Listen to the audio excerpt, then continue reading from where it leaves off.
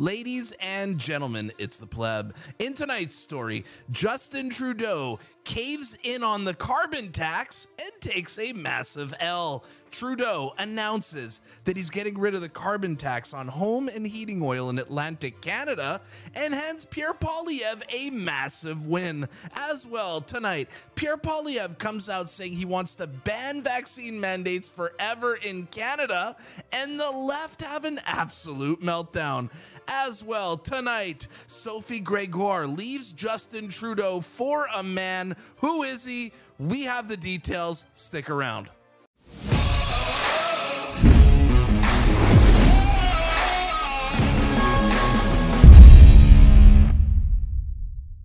Today's episode has been brought to you by Beaver Bitcoin, Canada's best Bitcoin exchange. Do you want to protect yourself from governments who freeze people's bank accounts? Or how about banks who shut people's bank accounts down for absolutely no reason? Protect yourself against authoritarians and own some Bitcoin. If you want to do so, head over to beaverbitcoin.com. The link is in the description below. Thank you for sponsoring this channel, and let's start tonight's report. Happy Friday, everyone. TGIF. Let's kick off the weekend together laughing at Clown World. But before we get to all this, like Trudeau basically admitting that the carbon tax was a failure, or watching the left meltdown over Pierre Poilievre wanting to ban mandates, we're going to continue our story from last episode where I gave a shout out to an up and coming creator named um, Red Pill North. He was very thankful for me, so thankful he tweeted to thank you to me multiple times, but he also made this video for me, which is a remix of my shout out for him. Watch this. Tonight, we're going to lead off tonight's story with a couple of laughs before we get to the serious stuff. What does that mean? I discovered a new creator. I love this. I love I love discovering uh, smaller accounts who put out really good content that I can feature on my channel. Cool. This account is called Red Pill North. Red Pill underscore North on X. Man, the dude was so thankful that I gave him a shout out on my channel that he literally remixed Pierre eating an apple in my studio. So funny and so good, man. I appreciate you, Red Pill North. But did you guys notice how many followers he had when we shouted him out on my channel the other day? I gave him a shout out on the channel. He had 297 followers here. Do you guys want to know how much he has now? The dude now has what? 1763 followers. 1763 followers in just a couple of days after we shouted him out on this channel.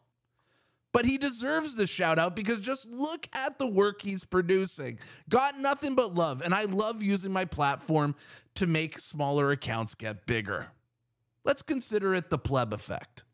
So I don't know if you guys were following this week, but Pierre Poilievre came out in the House of Commons trying to put forth a bill to ban vaccine mandates forever in Canada. And the left are absolutely losing it. Watch this clip of Pierre Poilievre. He had the temerity to go on television about three months ago and claim he had never forced anyone to get vaccinated.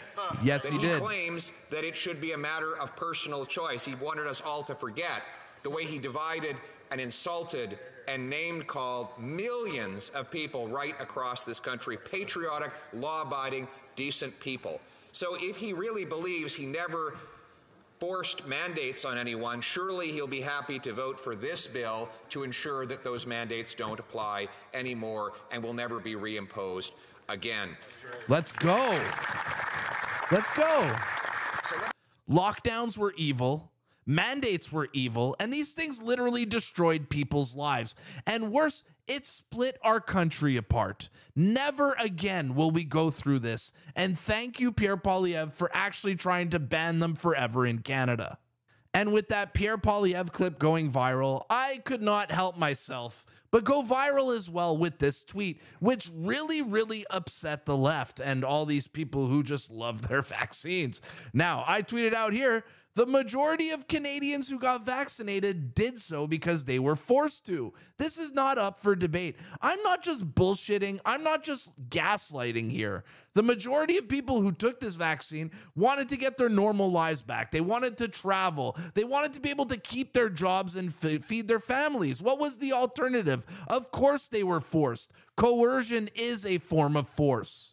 This tweet that I put out definitely pushed some buttons on the left. So much so that Rachel Gilmore, good old Rachel, came out and attacked me here. That's what she's saying. I'm once again reminding folks that the pleb is an attention seeking troll who used to beg me for feet pics in my replies. He is not a reporter and has never been. He's a grifter trying to make money, YouTube AdSense money, by taking advantage of people's trust. You're wrong, Rachel. I'm not trying to make AdSense money taking advantage of people's trust. I'm trying to make AdSense money making fun of people like you. And guess what? I'm absolutely crushing it. How's unemployment treating you? But it wasn't just Rachel Gilmore, it was people like Jane Daly here who writes, This is who Pierre Poilievre and the conservatives are talking to when they lie and continue to talk about mandates like they're real. What? The mandates are not real? Okay. F off with your MAGA stupidity. I don't want that ish in my government. Morons on parade. Okay. Pretty unhinged tweet. This doesn't make much sense logically. But you know what? This person knows they are wrong. You want to know why I know they are wrong? Because they turn the comments off. They turn the comments off. Anyone who turns the comments off automatically loses. And people like Joe Canada, who has no space for hate according to his profile picture, came out and quote tweeted me, very triggered, saying, You know what's not up for debate? That you're a piece of garbage. Well, that tweet got itself ratioed here at 132 comments versus 31 likes. A bloodbath. I then proceeded to put on what is probably one of the most vicious ratios I have ever put on on X, guys. Look at this.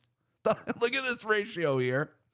It's always people with this profile picture posting the most hateful things. The irony is astounding. So look at this 31 likes, and the pleb replies with the person's profile picture and gets 537 likes. An absolute crime scene.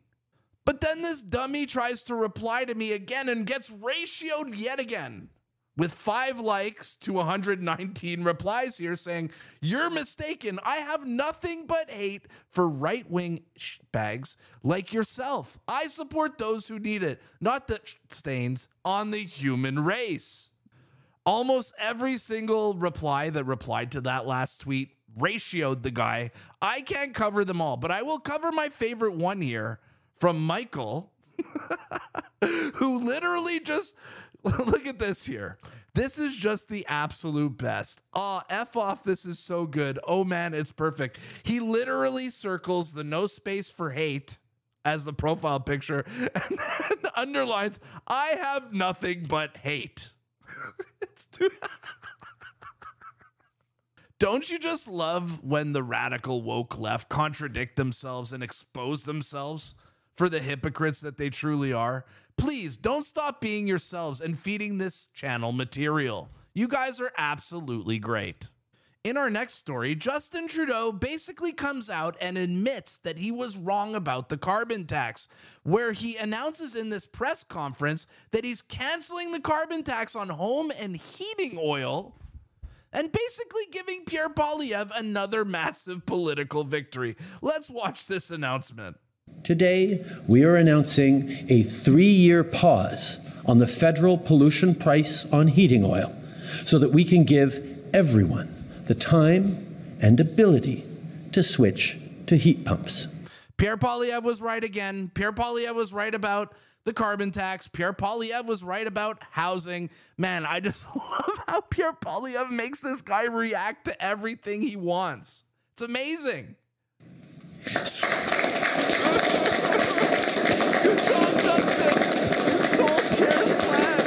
Don't you just love it when the liberals admit that they were wrong? Because that's what Justin Trudeau just did.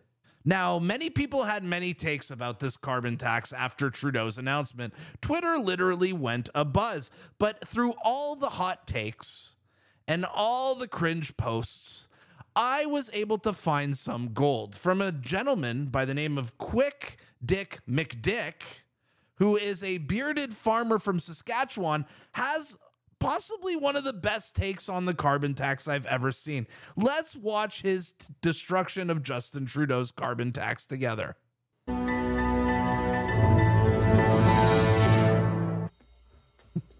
So I get in from processing calves, make some sausage and eggs, and I hear this. Today, we are announcing a three year pause on the federal pollution price on heating oil so that we can give everyone the time and ability to switch to heat pumps. Why do people need time to switch to electric heat pumps? That they need a break off of heating oil from your carbon tax to do it.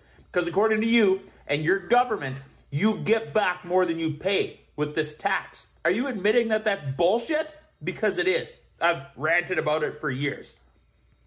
Now, switching to an electric heat pump from oil heating, which is very vulnerable to volatile global market prices, can save people a lot of money. Yeah, well, you guys keep pushing wind and solar, which are completely unreliable. And then when it's cold and it's dark and there's no wind blowing, everyone's going to have to pay a fortune to try and get electricity to their heat pumps and their electric cars.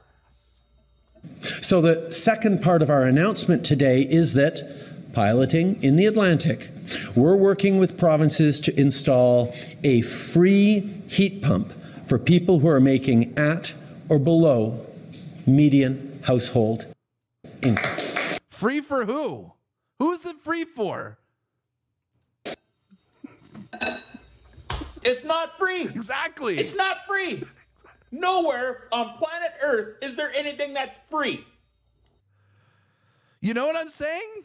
Why can't the left understand this? There is nothing for free in this world. Nothing is free. McDick is right. Somewhere, somebody has to pay for the thing that you're getting. Yes. In this case, it's the government. Do you know where the government gets its money from? Right, it's right here in your wallet. Your wallet, my wallet, everybody's wallet. We are paying for this. And to encourage people to sign up for the change, we're providing a $250 incentive payment. That's money in your pocket right now. If the government gives you $250, that $250 has come from somewhere that is not the government. Because the government doesn't have a wallet that they're pulling out that they've just got their own money that they're giving to you. That $250 has come from somewhere probably in the western part of the country where we exist where most of us heat our homes with propane or natural gas which are not going to be a part of this three year pause on the carbon tax. We're just going to keep getting push popped out here. Yeah you didn't know about that one guys yeah, you didn't know about that one, guys, because half of them just looked at each other and been like, how, how are we going to pay for that? How's that going to work? And for everyone else, we've got an enhanced program that will deliver heat pumps up front to be paid off with the savings you'll be getting over the coming years. We are switching to heat pumps off home heating oil as a region in Atlantic Canada so and as a country. A 60 by 120 house slash shop combination in the middle of Saskatchewan, minus 40 for two weeks. Can you do it with a heat pump? No one will do it for me. Been planning a build for the last couple years. Not one person will do it for me. So what do I do? Just keep getting taxed? And one more thing. Today we are doubling from 10 to 20%, the rural top up that people get as part of their quarterly pollution price rebates. You want to talk about doubling? This guy not only doubles my blood pressure, but he doubles my natural gas bill because in Saskatchewan, what I pay for natural gas, I also pay an equal amount of carbon tax on that natural gas, and then I get taxed on that carbon tax. I pay a tax on a tax. How, how is that? How's that fair? Oh, look at that. That's Lawrence MacAulay in the background, all right? Federal Agriculture Minister of Canada. Bill C 234 right now is hung up in Senate because they're all saying, okay, well, we can exempt you guys from carbon tax on grain drying. Oh, but when it comes to your barns and your shops and everything, well, there's different things that you can do to make things better, and so we're just not going to exempt those. Atlantic Canada, no, fuck it, we'll exempt you from everything. to my friends in Eastern Canada, I hope you can see what's happening right now. You're, you're, you're being bought. He's polling shitty over there, and he's on his way out and hanging onto strings, and he's purchasing you, your vote, with everyone else's money. Uh, Do you think this will even save him, though, guys? Let me know in the chat down below or in the comments. Do you think this last ditch effort from Trudeau can even save him from these terrible polling numbers? I hope you can see this going on. I I'm do. not much for splitting the country apart, but this is the kind of shit that makes people want to just be a separate entity in Western Canada. And I don't say this very often, but I sure do like seeing fuck Trudeau flags flying around when he starts pulling shit like this.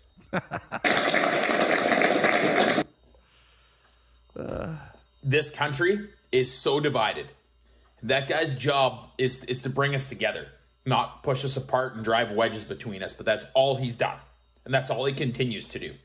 Urban, rural, east, west, and this guy just keeps pushing us farther and farther and farther apart. If we want to start fixing what's wrong with Canada, that guy needs to go. Facts. I'm going to have a shower, which I'm going to use natural gas to heat the water, which I'm going to have to pay carbon tax on. And I'm taking a shower beer. I hope you guys see this for what it is. Enjoy your shower beer, King. Man, quick Dick McDick nails it. Trudeau is just using our money to fulfill his utopia vision of woke Canada, and we are suffering as a result. What do you guys think of Quick Dick McDick's video there? Do you guys agree with him? Let me know in the comments down below. In our last story, crazy juicy details came out about Sophie Gregoire's new boyfriend and Justin Trudeau's divorce. Now, this meme could not be more accurate because it appears that Sophie Gregoire Trudeau left Justin Trudeau for a man. It's true. Sophie Gregoire Trudeau is dating a Ottawa surgeon by the name of Marcos Bettolli. It appears that Sophie Gregoire Trudeau has started dating men again. Good for her. Now, according to the National Post, they've been dating for over five months. And all these photo ops that I'm about to show you are from the time where Sophie Gregoire Trudeau had a new boyfriend. Yup, everything you guys saw from the Queen's cor- the King's coronation to Joe Biden's visit were all an absolute sham. Yeah, the person who wrote this tweet called Justin Trudeau an actor, and you're gonna see why. Because this clip was from five months ago and they weren't even together anymore. Justin Trudeau and his wife, his wife had a new boyfriend and they were parading around pretending to still be in love. Absolutely crazy. I already knew this was awkward at the time, but now with context, it'll make it even more awkward. Just look at this. So unnatural. It's so unnatural, right? Oh my god. This Look at the body language between both of them. The signs were there. We Hey man, we knew this a long time ago. Or how about this picture of Justin Trudeau and his wife together when Joe Biden and Jill Biden, the president and uh, first lady, visited Canada? Just look at them together taking this photo op in March 2023 when she was still living with another man. Absolutely crazy. Everything is fake. Everything is acting. Our politicians, none of it is real. Or how about this happy anniversary post from Justin Trudeau? They were not even together during this post as well. But the funniest part is that this post from Justin Trudeau saying happy anniversary has now been hit by community notes. This is a proposed community note, so it's not published yet, but it says this is a star- a staged PR photo. The couple was already separated as early as previous April, and Sophie was in a new relationship. Even Justin Trudeau's relationship or fake marriage is not safe from community notes. Thank you, Elon Musk, for keeping the internet honest. I absolutely love community notes. All right, here is today's question. We're going to wrap up this video, but this is going to be a loaded question for today. And I want to know in the comments what you think. Now that we know that Justin Trudeau was separated from his wife, his wife was actually living with another man and he was still pretending to be with her, does that make Justin Trudeau a cuck or a cuckold? I don't know. Like, technically, shouldn't that be cuckolding? Let me know in the comments down below if you think Trudeau is a cuck or not. All right, if you made it this far and you're not subscribed already, smash the subscribe button because no one watches a video this long that they did not enjoy. As well, make sure to smash the like button on this video, share it out. Buy a membership to my channel. My name is The Pleb. This was today's report, and I'll see you at the next one. Peace.